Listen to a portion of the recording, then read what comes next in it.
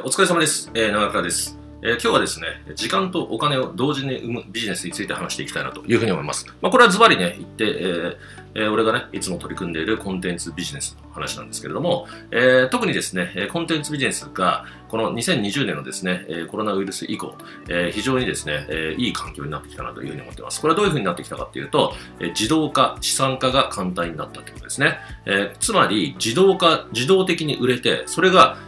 しかもその売れたものがですね、資産として何回でも売れるということなんです。えーだからこう自動化、資産化、これを同時に可能にするコンテンツベースをやるべきだっていうのを、えーずっとですね、えー僕は唱えてます。えーこれなぜかというとですね、えーまあ、例えばね、お金だけ生むってんだったら、まあ、時間を削ってね、必死に働けばいいと。まあ、そういうことをですね、なんか僕自身も、30代はやっていたなというふうに思うんですけれども、これだけやってるとですね、もう最後は疲弊します。えーまあ、僕自身出版社にいた頃はですね、本当にそういった感じで生きててですね、えー今思うとですね、あんまりあの記憶ないんです、最後の方ね。確かにお金は稼いでたんですけども、あんまり記憶がないというふうになってます。で、独立した後も結構必死こいてやってたんで、まあそういうね、状況が続いてたんですね。うん、でも、えーおかげさまでですね、資産化、えー自動化っていうことが、えーできるようになったなというふうに思ったんですね、最近特に見てて。うん、だからそういったことをですね、いつも念頭に置きながら、今はコンテンツビジネスに取り組んでます。えかつてはですね、例えばコンテンツビジネスの一つとして、まあ、セミナー、リアルセミナーみたいなのあったわけですけども、あれはもう完全にね、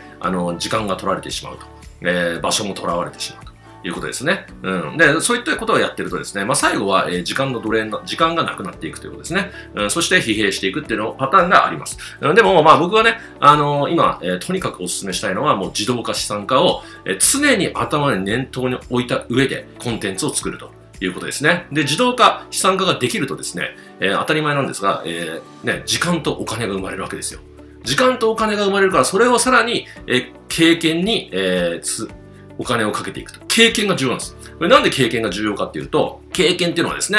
もう無形なもの、見えないものこそ自分の資産になるんですね、逆に。そしてこの自分が成長する、自分が成長することによってまた新たなコンテンツが生まれるということですね。なので今日はですね、えー皆さんに一番お伝えしたかったのは何かっていうと、時間とお金、えーこれがね、同時に埋めるビジネスというのが、えーついに生まれた。それがコンテンツビジネスですよ、ということなんで、えーぜひね、えーこれから、え自分で稼ぎたい、独立したい、副業したいという人は、コンテンツビジネス、え取り組んでみてみたらいいんじゃないかなと思います。